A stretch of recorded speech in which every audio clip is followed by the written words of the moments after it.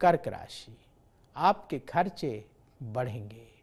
किसी बात को लेकर टेंशन रहेगी। अपने समय का सदुपयोग करें। लोगों से उलझने से बचना होगा। परिवार वालों की बातों को अनसुना ना करें। जो लोग बिज़नेस करते हैं, व्यापार में हर काम सावधानी से करें। ज़रूरी टिप, सावधान रहें।